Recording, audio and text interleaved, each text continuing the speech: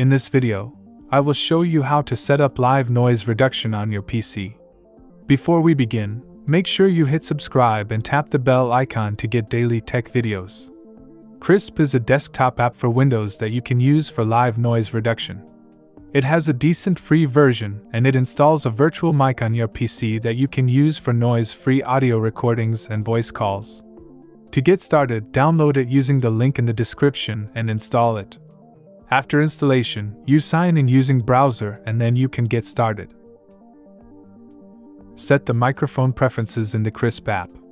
Make sure that you enable the cancel noise and room echo option. Now you just need to open any app and choose Krisp as the microphone to record audio. Let's try it in Windows Recorder. First, let's record without noise reduction.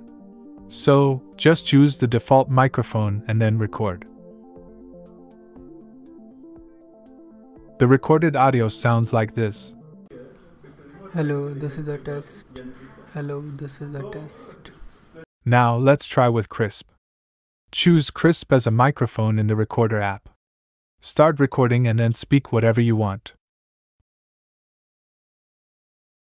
The recording with Krisp in the same environment as before sounds like this. Hello, this is a test. Hello, this is a test. There is clearly a difference between these two recordings. Krisp can reduce background noise to a very much extent. And if you have some other high quality microphone, then you can even reduce background voices of people and objects. That's how you can enable live noise reduction on your PC with Krisp.